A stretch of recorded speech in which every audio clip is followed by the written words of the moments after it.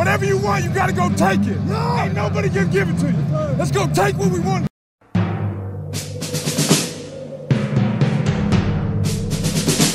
The autumn wind is a pirate, blustering in from sea. With a rollicking song, he sweeps along, swaggering boisterously. His face is weather beaten. He wears a hooded sash with a silver hat about his head and a bristling black mustache. He growls as he storms the country, a villain big and bold. And the trees all shake and quiver and quake as he robs them of their gold. The autumn wind is a raider, pillaging just for fun. He'll knock you round and upside down and laugh when he's conquered and won. When it comes to receivers, always bet on LSU. Justin Jefferson and Ja'Marr Chase are already stars. Odell Beckham Jr. is still a star when healthy. And there's another LSU receiver out there that should be but isn't a star yet by the name of DJ Chark. Chark would have been a first round pick if he was still at LSU when quarterback Joe Burrow was there. But Burrow didn't get there until Chark went to the Jacksonville Jaguars in the second round of the 2018 NFL Draft. Chark would have been a star in the NFL by now too, but he's had Blake Bortles, Gardner Minshew, and Trevor Lawrence as a rookie at quarterback. At 6'4", 210 pounds with 4.340 speed and a 40 inch vertical leap, his skill set is scary. So I'm telling you, quarterback Derek Carr and Chark would turn each other into stars. The Las Vegas Raiders offense would score a lot more points, and it wouldn't cost as much as it would to sign Robinson. Let's check him out. I really don't see a problem in Chark's game. What's been holding him back are the guys throwing him the ball. His quarterbacks threw the ball to the wrong guy a little too often.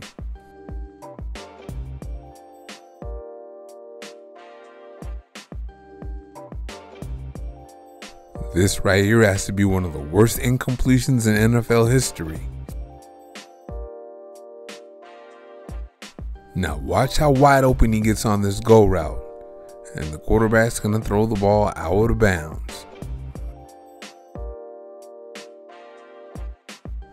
And here it is again.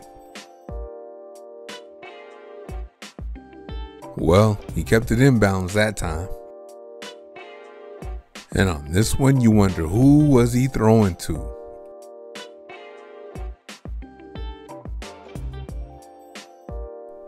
Chark himself as a receiver had great hands.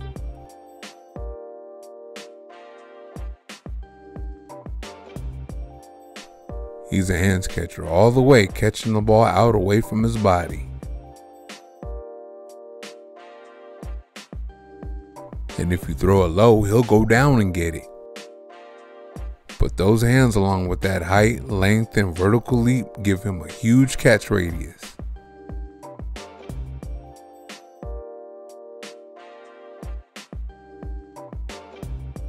Here in the scramble drill, you're going to see he's pretty hard to miss.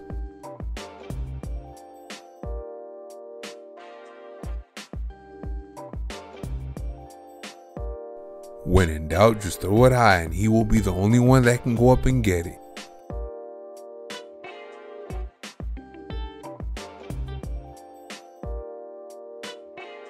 Well, what about when defensive backs are trying to swat the ball out of there? Oh yeah, he can catch the ball then too.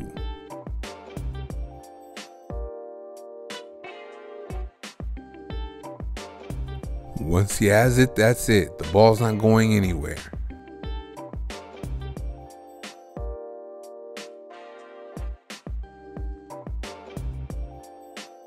Here he pulls it in and secures it and it's too late for the DB to rip it away from him.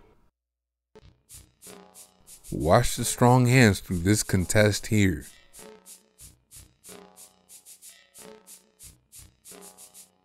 Here he's going to get that work as soon as he pulls it in, but that ball isn't going anywhere. Here's another example of him catching it out away from his body and the ball's already secure by the time the corner takes a jab at it.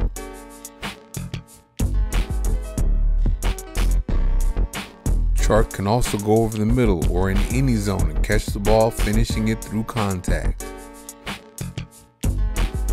He's going to take a big hit on this one.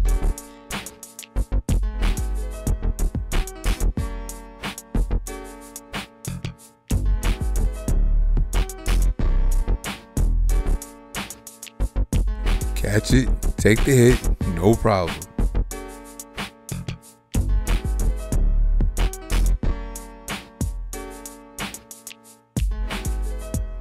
Yeah, that's how you move the chains right there.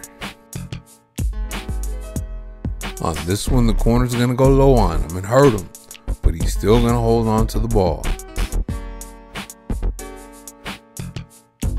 Here he's gonna see the linebacker coming right at him, but that doesn't matter. All that matters to him is moving the chains. Now that we've established his hands, let's look at his route running, which is really good. He put his foot in the ground and separated there.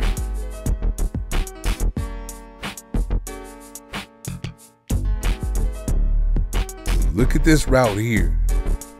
He gets plenty of separation and makes the catch. I'm going to say the same thing I always say about route running. Are you where you're supposed to be on time with separation?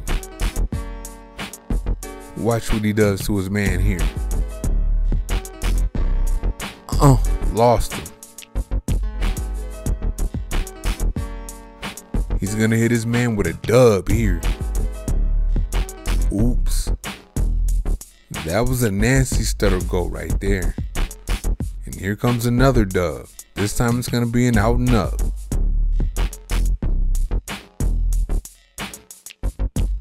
Chark is also good after the catches. Sometimes the Jaguars look to get the ball in his hands on bubble screens. Or he can do a little something with it after the catch on a short route. Oh.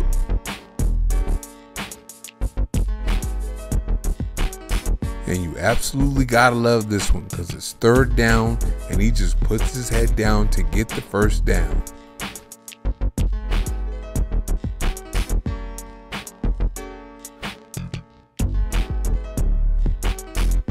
This one here, he's gonna sneak out.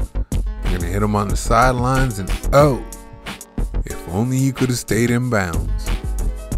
This one has everything his route running, his hands, and his speed finishing in the end zone after the catch.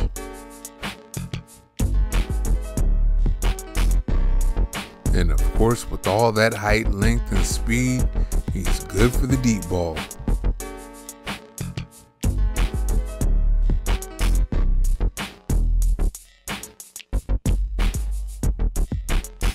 Chark is going to absolutely blaze his man on this one, but he has to slow down for the ball.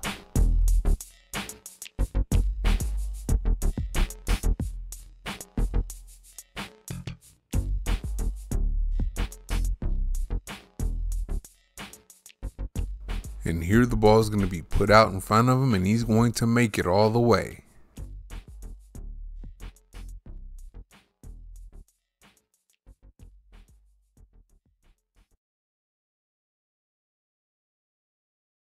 And here he goes with one put out in front of him again.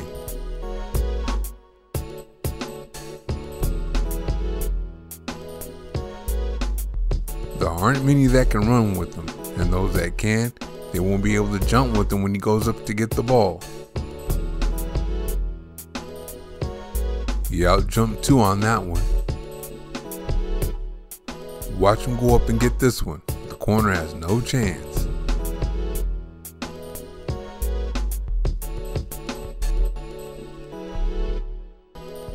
Here's a nice adjustment on an underthrown ball.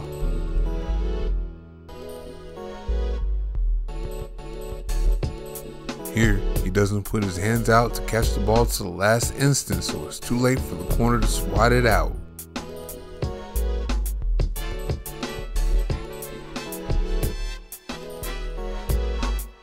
And here, he's fast enough to get a step on the corner, then step in front of the corner to get the ball.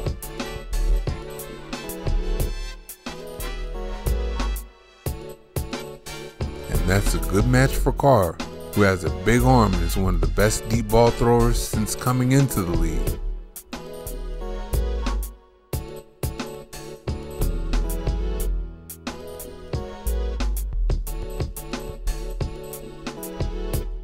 This one is beautiful.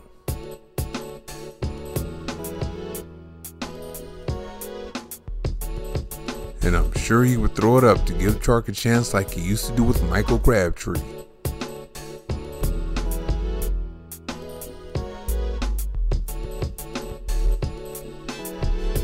Oh yeah, he would throw it up for Amari Cooper too.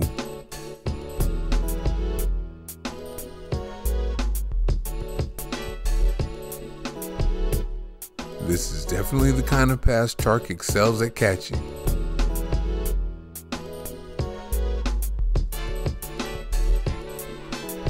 Which would really come in handy in the red zone.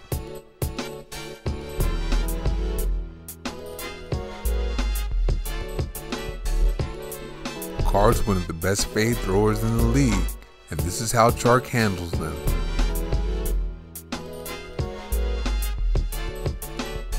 Watch the catch and toe tap on this corner route in the back corner of the end zone.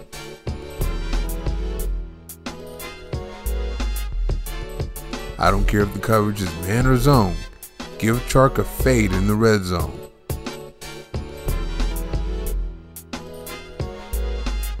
Now this is an awesome catch and toe tap here.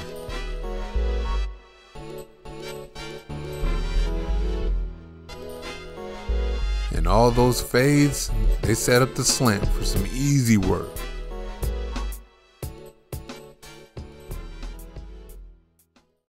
Chark is a great route runner that can hit you with a dub at any given moment.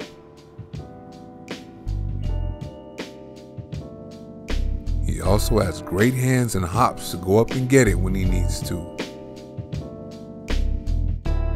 Then there's that game breaking speed he has to strike quickly from anywhere on the field. His height, hands, and hops make him an excellent red zone target. He can run after the catch too to complete his dynamic skill set that can really help Carr and the Raiders. Thank you for watching. See you next time.